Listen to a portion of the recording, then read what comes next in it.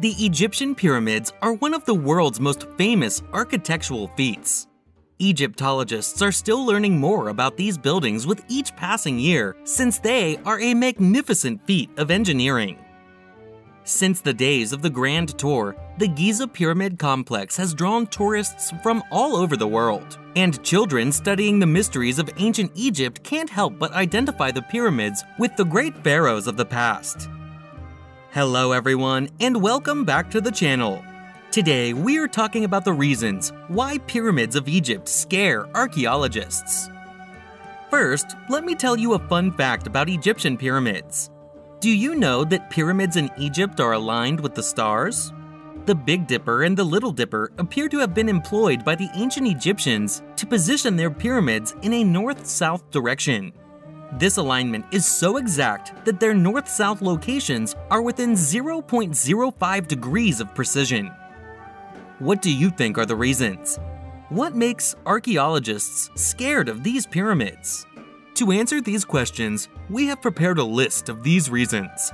So without further delay, let's jump into the video. The first reason which we are going to talk about is that they weren't all pointed at the same time. Not all pyramids are the same. Pyramid construction, like many other forms of construction, has various stages. The first pyramids were not the pointed constructions we conceive of, but rather flat structures. Many examples may be found at the massive Saqqara Burial Cemetery in Memphis, ancient Egypt's capital. The Pyramid of Djoser is among the earliest known pyramids found here. It was built between 2630 and 2611 BCE under the Third Dynasty and was designed by architect Imhotep.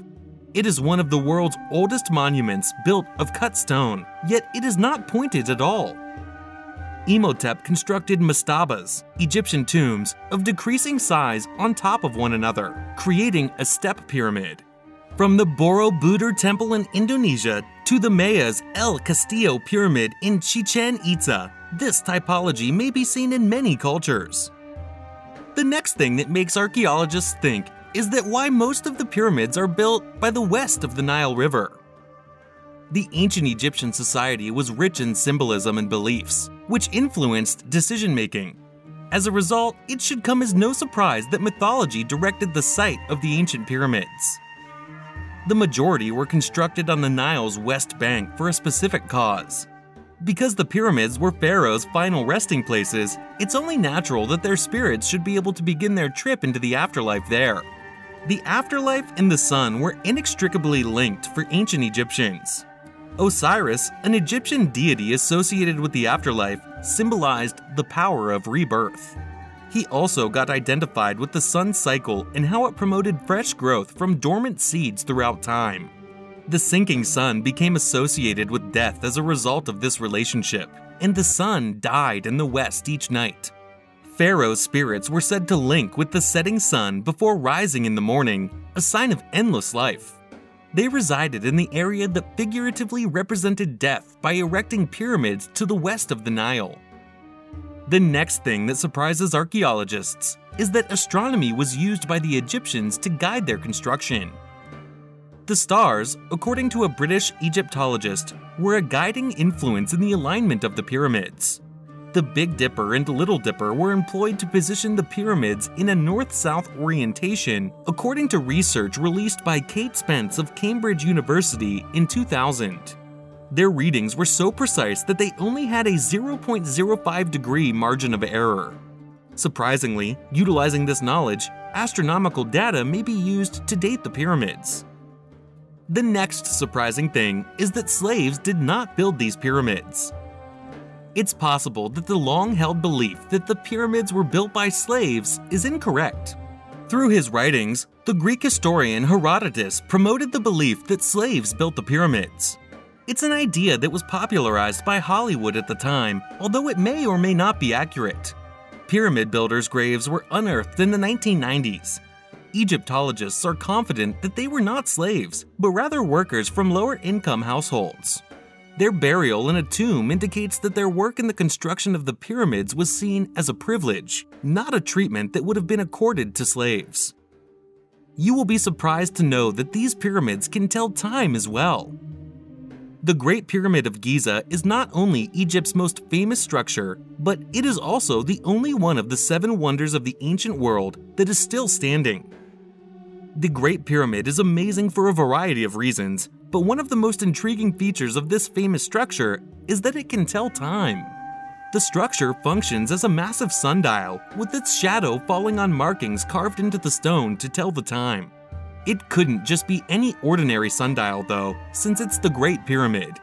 Because of its intricacy, it could not only tell time, but also mark solstices and equinoxes, assisting the Egyptians in defining the solar year. Now, we will talk about how by 1000 BC, every pyramid had been looted of its riches. Egyptians thought that their pharaohs, together with their valuables and occasionally even their slaves, should be buried together. As a result, gold, jewelry, clothing, and other valuables were placed in the graves with the mummies. Other countries' monarchs, on the other hand, have demolished the pyramids and stolen the gems and wealth back to their own kingdoms over the years. Despite the fact that the pyramids are extremely difficult to destroy, lesser pyramids were targeted and their treasures looted. The Great Pyramid of Giza is an excellent illustration of this. An unsuccessful break-in is documented, and the deep hole created in the pyramid's construction can still be seen today. Because the building of these pyramids is so astounding, considerable study has gone into trying to build structures that are equally as powerful today. The mortar used is still a mystery, and experts haven't been able to pinpoint where it came from. The next reason on our list is its construction. The stones were as heavy as elephants, and the construction of a pyramid took 200 years. The stones used to construct the pyramids weighed over 10 tons each, making them nearly as heavy as an elephant. Scientists are still trying to figure out how they were able to move these stones up to the heights of the pyramids. The pyramids rose to a height of around 203 steps, and each stone was put with incredible accuracy, and they are still standing today.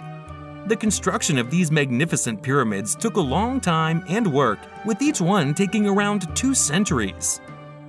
In ancient Egypt, over 138 pyramids were erected, and their beauty resides not only in their structure, but also in the incredible amount of care that went into their placement in relation to the stars. The largest and oldest of the world's most famous pyramids. It's not named the Great Pyramid of Giza for nothing, standing 481 feet tall it was built at the direction of Pharaoh Khufu probably around 2560 BCE. However, the exact method of construction is still unknown. Still, archaeologists have been able to explain numerous mechanics underlying the building's creation piece by piece. The stones were quarried from a quarry close south of the pyramid, and scholars believe that soaking the sand beforehand made their trek across the desert simpler. However, this only explains how the stones moved from one spot to another, not how they were subsequently carried high into the air and deposited in a massive triangle. Egypt is a place full of wonders, and pyramids are one of its wonders. These pyramids not only fascinate locals and tourists, but archaeologists as well. How much do you like these pyramids? And how much do you get fascinated from them? Did these reasons surprise you as well? Do let us know about your thoughts in the comment section below.